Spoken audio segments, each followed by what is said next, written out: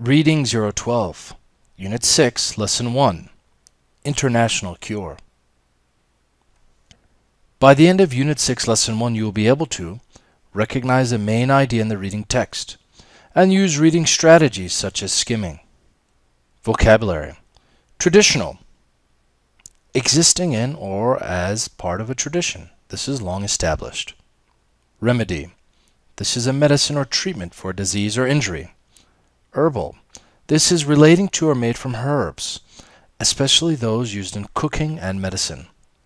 Symptoms are a sign of the existence of something, especially of an undesirable situation. Dementia is a chronic or persist persistent disorder of the mental processes caused by brain disease or injury and marked by memory disorders, personality changes, and impaired reasoning. Inflammation is a red, painful, and often swollen area in or on a part of your body. Read the text and answer the following questions. What is the name of the herb that is used to treat Alzheimer's disease? What country does the herb come from? What are the bad effects on the body of this herb? How has this herb been used in China? How many Alzheimer's patients have had their symptoms lessened? Chinese moss may alleviate Alzheimer's disease. A traditional Chinese herbal remedy might be effective in treating Alzheimer's disease. Experts on the disease looked at research in China and studies in the United States. Based on the results, they believe the harmless herbal remedy may be even more effective than the two drugs that doctors use now to treat the disease. Alzheimer's disease affects as many as 4 million elderly Americans and 12 million people worldwide.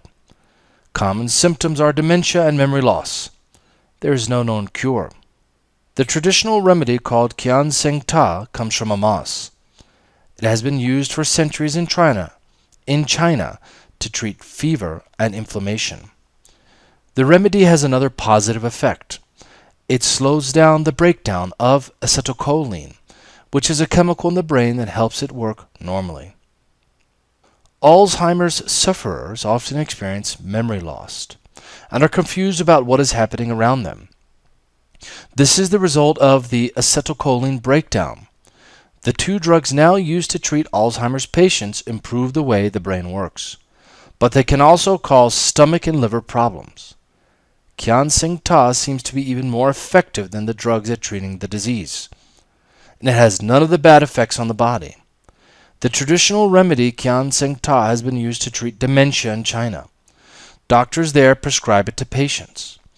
Reports from that country suggest that as many as 100,000 Alzheimer's patients have had their symptoms lessened, according to Alan Kozikowski, PhD, Georgetown University. Kozikowski first separated and studied the herbal compound in 1991. Read the text and answer the following questions.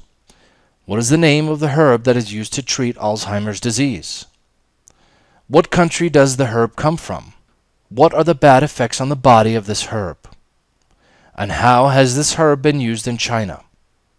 How many Alzheimer's patients have had their symptoms lessened?